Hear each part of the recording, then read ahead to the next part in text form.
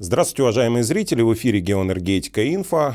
С вами Михаил Кокарев и Руслан Эльгарович Сафаров. Здравствуйте, Руслан Эльгарович. Приветствую, Михаил. Здравствуйте, уважаемые зрители. Руслан Эльгарович, Северная Корея.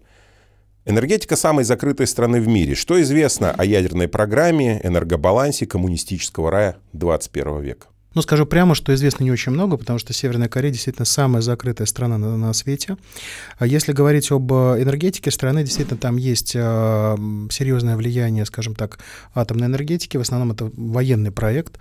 Э, в Северной Корее, к северу от Пхеньяна, есть такой замечательный уезд, где располагается город э, Йонбён, очень приятное для русскоязычного уха название, а где с 1965 года при, при помощи советских специалистов разрабатывался атомный проект Корейской Народно-Демократической Республики. Они очень любят, как их называют, Северная Корея.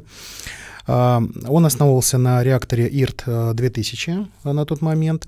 Э, дальше информация уже начинается сугубо такая, что называется, мы пытаемся догадаться, потому что был э, проект, связанный с запуском второго реактора, были слухи о том, что Северная Корея много чего еще другого в это, на этом проекте запускает.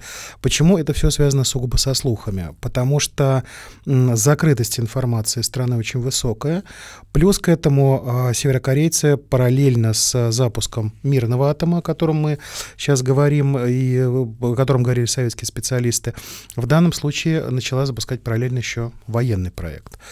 А, в 1994 году а, были попытки американцев войти в этот проект. Была попытка потепления отношений между а, Вашингтоном и Пхеньяном и попытка сделать его сугубо мирным.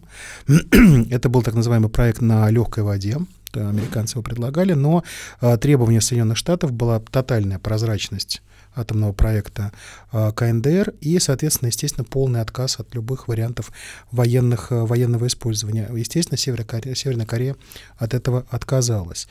Это то, что касается вот непосредственно атомной энергетики в стране. Что касается основных источников, из которых Северная Корея получает электроэнергию. Получает, кстати, не очень много. По а, подсчетам Организации Объединенных Наций, где-то порядка 33 а, а, тераватт-часов в год они вырабатывают. Для сравнения, это примерно 7% от того, что вырабатывает Южная Корея. Даже с учетом того, что даже с учетом того, что у нас с вами Южная Корея в два раза больше имеет населения, 50 миллионов против примерно 25 в КНДР. А, это очень небольшие э, проценты. Где вырабатывается электроэнергия? Дело все в том, что основным источником а, для получения электроэнергии в э, КНДР является уголь на северо-востоке страны, вблизи города Чонджин, это ближе уже к российской границе, если от Владивостока ехать, э, у нас есть граница с КНДР, а там есть достаточно такое э, для КНДР, по их меркам, большое месторождение э, угля. Надо отметить, что это антрацитовое месторождение, то есть это достаточно хороший, качественный уголь. И вот на этой базе, естественно, КНДР традиционно пыталась получать электроэнергию. Второе направление, а, которое в стране а, более-менее развито, это, конечно, гидроэнергетика. Это гидроэнергетика, но здесь есть свои моменты, о которых стоит упомянуть. Основное количество электроэнергии с, с гидроэлектростанции они получают на реке Елудзян. Это граница с Китайской Народной Республикой. Там располагается 4 ГЭС, а, которые вырабатывают примерно 2000 мегаватт-часов. А, при этом по договору между Пхеньяном и Пекином а, вся получаемая электроэнергия, она делится в равных пропорциях, 50 на 50. Там есть некоторые даже ГЭС, где, условно говоря, это плотина наша, это ваша, вот, то есть такие разделения очень четкие. Этот блок на, ваш, этот блок наш. Да, то есть оттуда они получают какую-то электроэнергию. Да, второе направление — это река Чхончхонган, это к северу, опять-таки, от Пхеньяна, это небольшая по российским меркам река, там порядка 210 километров в длину, на которой они умудрились, по данным, опять-таки, самой уже КНДРовской пропаганды, они построили аж на 10 э, гидроэлектростанций. Но, как мы с вами понимаем, мощности там очень-очень маленькие на этих гидроэлектростанциях, э, потому что, ну, сама речка маленькая, плюс одна из проблем Южной, э, Северной Кореи, одна из проблем Северной Кореи заключается в том, что там, собственно говоря, гидроресурсов не хватает. И э, зачастую, вот как, например, был 15 год, была достаточно серьезная засуха в стране, и естественно, что вся вода уходила там, условно говоря, на полив там, для сельскохозяйственных работ. А для гидроэлектростанции там уже, что называется, во вторую очередь. Это очень большая проблема для страны, потому что нехватка э, электроэнергии, она приводит к тому, что, конечно, они не могут толком развивать свою экономику, не могут толком э, развивать свою промышленность. Здесь они предпринимают какие-то неимоверные усилия по самым разным направлениям. Первое направление, по которому они пытаются развиваться, это солярные станции. А здесь маленький, очень важный такой сделаю пометку. Дело все в том, что э, все, что касается э, ВИА, не входит в э, пакет санкций против КНДР. На стране там несколько тысяч санкций. Им, конечно, далеко до нас, вот теперь уже, но а, там несколько тысяч санкций против них действует. И как раз-таки по а, КНДР участник Киотского протокола все, что касается ВИИ, не входит в санкционные пакеты. Поэтому, естественно, развитие вот возобновляемых источников энергетики для КНДР это всегда было путем немножко вырваться вот из этой энергетической блокады. А, что развивается? Первое, а, конечно, солярное направление. Здесь а, очень сильно было влияние Китая. Ну, Китай мировой лидер по производству панелей там солнечных и так далее, и так далее. Но к чести северокорейцев они начали потихоньку свое собственное производство. И сейчас они достаточно приличный процент вот, панелей, которые используются в КНДР, они получают свои. А почему это, с, этим, с чем это связано? Потому что, ну, надо откровенно сказать, КНДР страна достаточно э, бедная. Вот для них, например, э, панели там на 50 ватт, которые продаются китайские, которые используют в обычных домохозяйствах. Э, в КНДР это, не, это не редкость. Это примерно 35 долларов стоимость такой панели. А 35 долларов это примерно среднемесячная зарплата обычного человека вот в КНДР. Поэтому это такая роскошь некая. Я уже не говорю про там домашние панели на 200 ватт и так далее. Поэтому они стремительно вот развивают это направление, но опять-таки по данным, которые получают там разведки разных стран, это там, условно говоря, менее процент от всей электрогенерации, которая в стране получается. А, Северной Корее немножко не повезло. В каком вопросе? А, в том плане, что можно было бы развивать ветроэнергетику. Если вы посмотрите на карту КНДР, в принципе, это страна, которая располагается на Корейском полуострове, у него с двух сторон моря.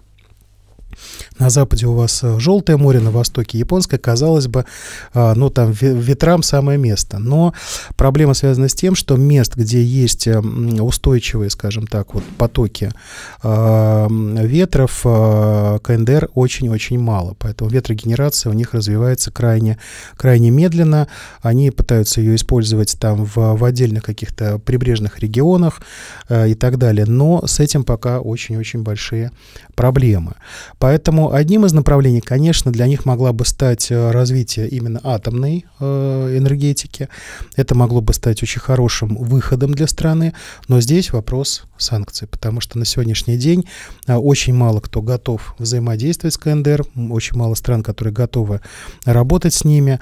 Есть какие-то, что называется, там разведпризнаки того, что китайское есть какое-то участие в этом направлении.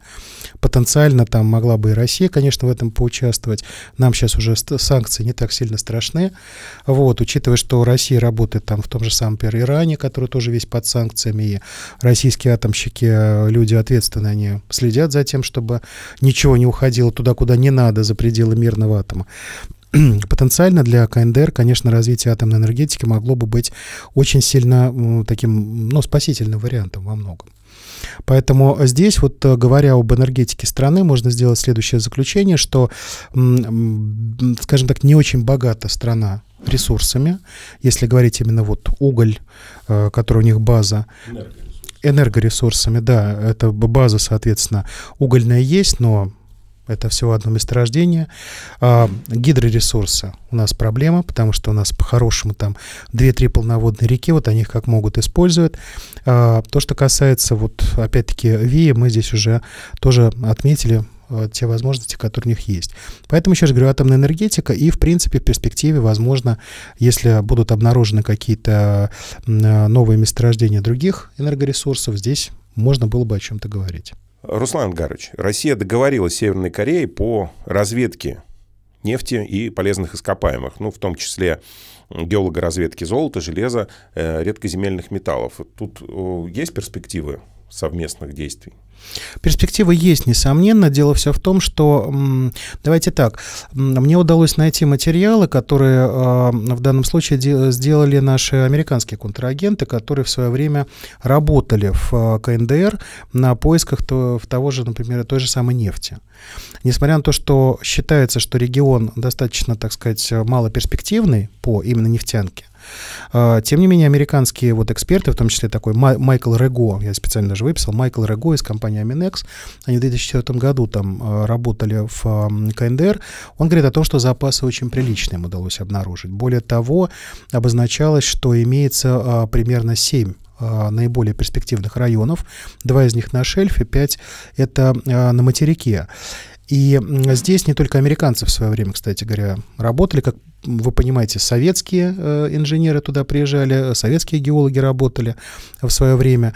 А КНДР э, еще в 60-е годы приглашала специалистов из э, несоциалистических стран, там из Малайзии той же самой, из тех же Соединенных Штатов, кстати, и так далее. Они пытаются все время что-то обнаружить, и перспективы есть перспективы есть. Прежде всего надо говорить, конечно, о э, месторождениях на западе страны, как материковых, а так и вот э, достаточно перспективное месторождение, может быть, на Желтом море. Это мы сейчас говорим сугубо о нефти. А, в данном случае я думаю, что это могло бы стать серьезным спасением для КНДР. А, и, в принципе, здесь это открывает очень неплохие варианты для взаимодействия наших стран, России и а, КНДР. Все дело в чем? КНДР серьезно зависим от поступления ресурсов извне. В основном они получают их из Китая и частично из России. Был в свое время даже большой проект транскорейского газопровод, который должен был идти из России в Южную Корею, затрагивать КНДР. Для них это была бы своего рода спасение, да, они получают, собственно, нефть, а у России появляется возможность нормально с ними взаимодействовать уже вот в новых условиях санкционного давления. Что имеется в виду? Конечно, мы сейчас можем отправлять в КНДР свою продукцию, а так и происходит. Там сельхозпродукция отправляется, мука, соевое масло и так далее.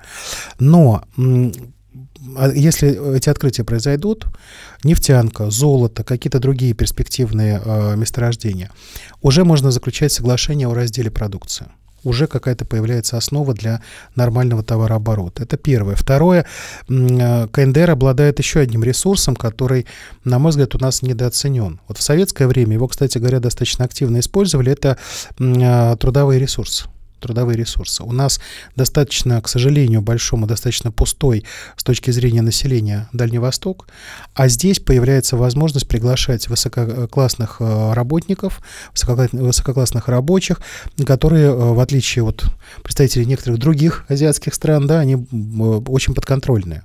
То есть они приехали, они выполнили свою работу, уехали. То здесь появляются варианты э, взаимозачетов. Мы, условно говоря, там занимаемся геологоразведкой, мы что-то добываем, продаем, даем какие-то необходимые э, КНДР э, товары, они предоставляют в данном случае через услуги. Например, вот оплату все это производит. То есть это э, основание для взаимовыгодного сотрудничества. Вот, поэтому я очень надеюсь, что эти проекты, они будут реализовываться. Еще раз говорю, вот Желтое море, потом на западе бассейн Анджон-Чхон, это достаточно перспективная история. Здесь, я думаю, что э, есть варианты для того, чтобы э, наши специалисты поработали. Тем более, что э, у России достаточно много и хорошего опыта в том числе из вот региона Дальнего Востока. Я напомню, у нас есть такая компания, как Зарубежнефть, которая долгое время во Вьетнаме работала, и сейчас работает, и достаточно успешно на шельфе умудряются находить нефть. Хотя, условно говоря, еще там несколько десятилетий назад очень многие, ну, скажем так, со скепсисом смотрели на перспективы Вьетнама именно по э, нефтянке, по углеводородам и так далее. Поэтому здесь э, опыт российских э, специалистов э, в геологоразведке и так далее, он мог бы быть очень-очень полезен. Еще раз говорю, как для КНДР, так и для России. Здесь это не тот случай, когда у нас вот очень многие любят говорить, вот Россия там продавала нефть за рупии, некуда девать рупии. Ребят, здесь в данном случае при грамотном подходе мы можем получать а, от той же самой а, КНДР и товары и услуги, которые нам самим очень могут пригодиться. Спасибо большое, Руслан Гарыч. Благодарю зрителей за то, что смотрели. Обязательно подписывайтесь на Телеграм и Дзен-каналы Геоэнергетики Инфо. Только там вы найдете самые свежие новости в сфере энергетики. До скорых встреч.